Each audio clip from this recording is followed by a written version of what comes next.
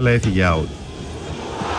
Προφανώς το θέαμα στον αγωνιστικό χώρο άφηνε παγερά διάφορους τους οπαδούς που άρχισαν να επιδίδονται σε ρήψεις καθισμάτων και φωτοβολίδων.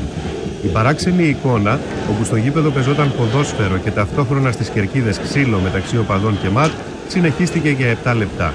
Ώσπου στο 29 η χρήση χημικών ουσιών ανάγκασε τους παίκτες να τρέξουν άρον-άρον για τα ποδητήρια.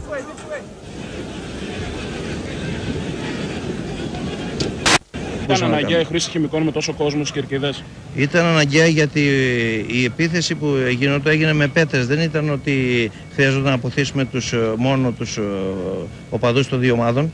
Πετούσαν πέτρες μεταξύ τους, οι οποίες είχαν, έκοβαν από τα καθίσματα των κερκίδων και αντίστοιχα μεταξύ τους. Οπωσδήποτε χρειαζόταν να τους αποθήσουμε πιο πέρα. Το μάτς διακόπη για 20 λεπτά. Ξανάρχισε και στις καθυστερήσεις του ημιχρόνου η Λάρισα πήρε προβάδισμα. Ο Κλέιτον έστειλε την μπάλα στο κεφάλι του Κριστιαν Μπασιλά που νίκησε τον Φερνάντες.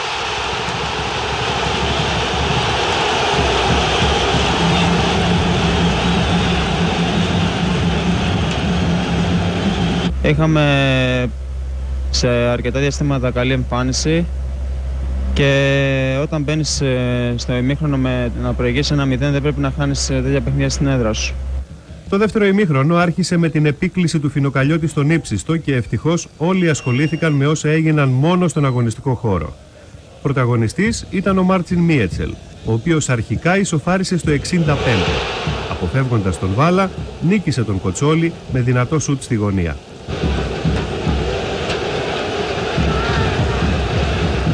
Μπήκαμε στο δεύτερο ημίχρονο πολύ δυνατά, ε, κλείσαμε τη Λάρισα στο δικό της μισό και καταφέραμε να βάλουμε δύο πολύ ωραία γκολ και να κερδίσουμε το παιχνίδι από μια δύσκολη έδρα. Η Λάρισα είχε τις ευκαιρίες να πάρει εκ νέου κεφάλι στο σκορ.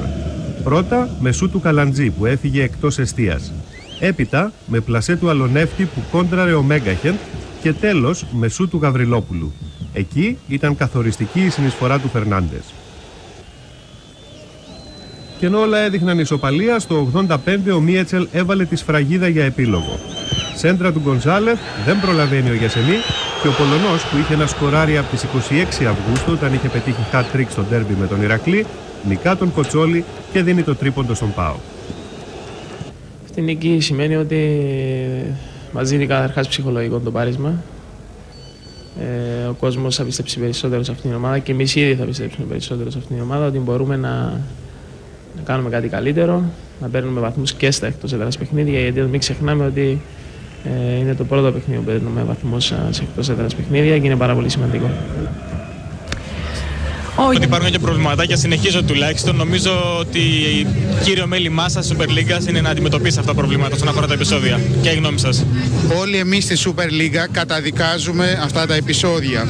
Μερικοί, ευτυχώς λίγοι κακοί φίλαθλοι, έχουν αποφασίσει να στερήσουν το ποδόσφαιρο από την πλειοψηφία των καλών φιλάθλων, οι οποίοι θέλουν να πάνε στο Σαββατοκύριακο στο γήπεδο γιατί είναι ένα άθλημα το ποδόσφαιρο που αρέσει σε όλους.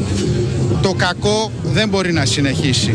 Στο επόμενο διοικητικό συμβούλιο της Super League, το οποίο είναι προγραμματισμένο για την Πέμπτη, όλοι μαζί θα αντιμετωπίσουμε αυτό το φαινόμενο της βίας, θα συζητήσουμε όλα αυτά που έχουν συμβεί και πολύ σύντομα θα έρθουμε με συγκεκριμένες προτάσεις. Θέλουμε όλοι οι φίλαθλοι να μπορούν να έρχονται στα γήπεδα, να απολαμβάνουν το ποδόσφαιρο που τόσο πολύ όλοι αγαπάμε.